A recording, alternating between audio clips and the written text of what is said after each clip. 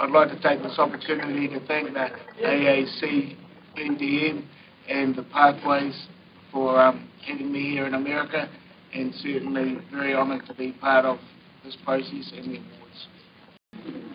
What I try and do um, for people with disabilities in New Zealand is actually be a positive role model and I always make sure that I look at both sides of the coin in the sense of what society can do better to help us, but also what people with disabilities can do smarter to help themselves also to get the best quality of life. I'm very fortunate to work as disability facil facilitator for the Ministry of Education in New Zealand. It has certainly probably taken more pressure off myself disability-wise by having a good job and I'd have to say that it gives me the opportunity to work with people with disabilities, but also work with their families, which is quite crucial, because families are often the people that dictate their aspirations and expectations for people with disabilities, certainly in the earlier part of their lives especially.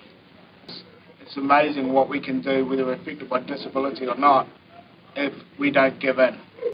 Many people have said to me, what would make you do something like Mount Kilimanjaro when you've got cerebral palsy to the level that you had?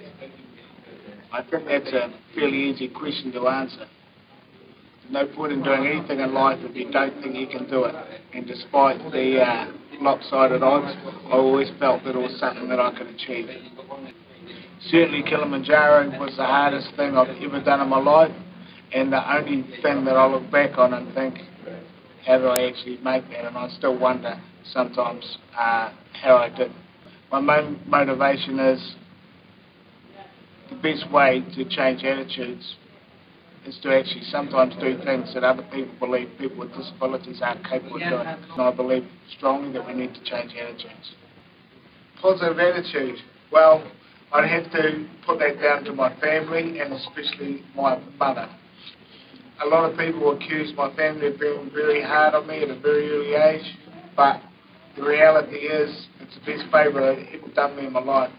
And I'd have to say that it's good to show understanding for people with disabilities, but more important, you know, we've got to get people ready for real life. And I believe my parents making hard decisions helped me have a good attitude and a positive outlook on life and really helped me get ready for what life was going to be like as opposed to how we would like it to be or how it could be.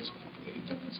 And when I'm working with people with disabilities, I always stress, make something bigger in your life than your biggest perceived hassle.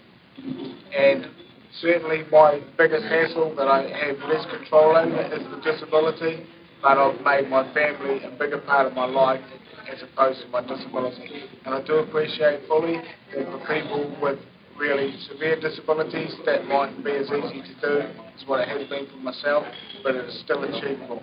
The last thing is attitude.